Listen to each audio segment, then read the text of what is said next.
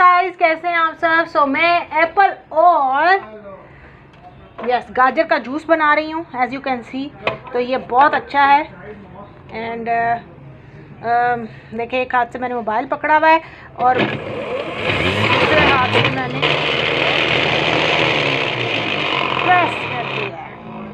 ठीक है?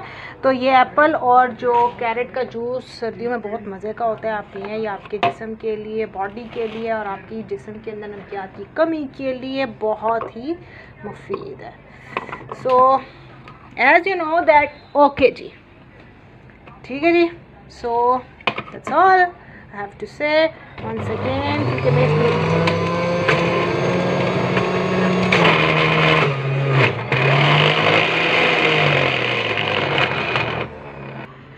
so guys as you can see कि मैंने गाजर और सेब का जूस बना लिया है सो प्लीज़ सब्सक्राइब